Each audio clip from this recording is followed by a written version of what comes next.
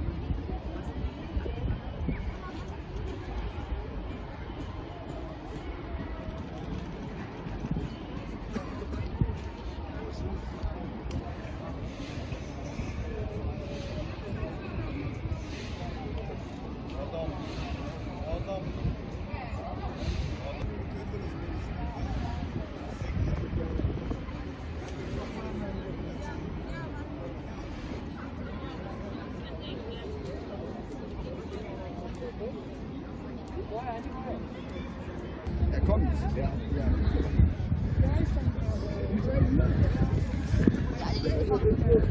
Anneliese kommt auch, die ist auch unterwegs.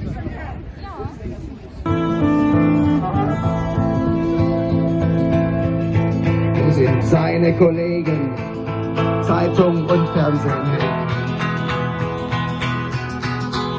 Einer von euch hatte die Wahrheit im Sinn. Oder nur denen, die das Unrecht hier tun? Gefängnis in London äh, sitzt und zurzeit äh, einen Prozess hat für die Auslieferung in die USA. Die USA fordern seine Auslieferung, weil er angeblich also äh, Geheimnisse verraten hätte. Er hat also die Kriegsverbrechen der USA im Irak aufgedeckt und soll deswegen in den USA 175 Jahre Gefängnis bekommen. Wir sind der Meinung, Journalismus ist kein Verbrechen, sondern ist eine, eine Pflicht. Kriegsverbrechen ist äh, heute hier, äh, die Skulpturen sind hier drei Tage hier, also rund um die Uhr. So um 15 Uhr gibt es eine Kundgebung mit dem Vater von äh, Assas, mit dem John Shipton aus Australien, dann mit äh, Bundestagsabgeordnete Annette Groth. Name ist Manuela Essig. Okay, wir machen hier eine Ausstellung äh, für Whistleblower und für Julian Assange. Julian Assange ist der Gründer von Wikileaks, eine Enthüllungsplattform, die Kriegsverbrechen und andere Verbrechen aufgedeckt hat.